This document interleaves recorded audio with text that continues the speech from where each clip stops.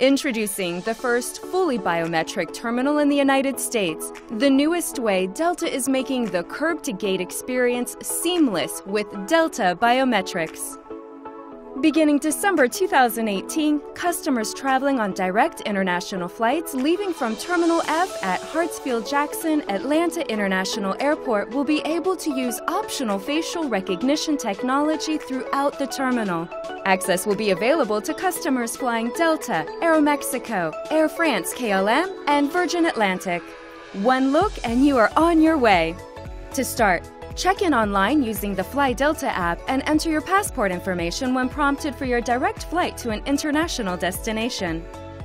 Once you arrive at the airport, head to the kiosk to verify your passport.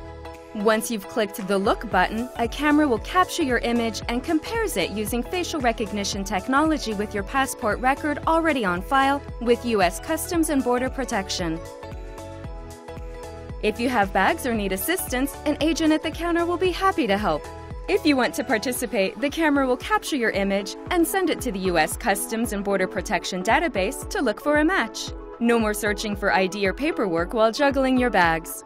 This innovative new technology also allows you to move more efficiently and stress-free through TSA checkpoints. And with the industry leading CT scanners at two automated screening lanes, travelers won't have to take out electronics and other items typically removed from their bags at the TSA checkpoint, further enabling a smooth travel experience.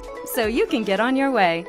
You can even use facial recognition technology at the gate to board the aircraft, allowing for a faster and smoother boarding process. Remember, Delta Biometrics are voluntary. If you don't want to participate, you simply board like you always have.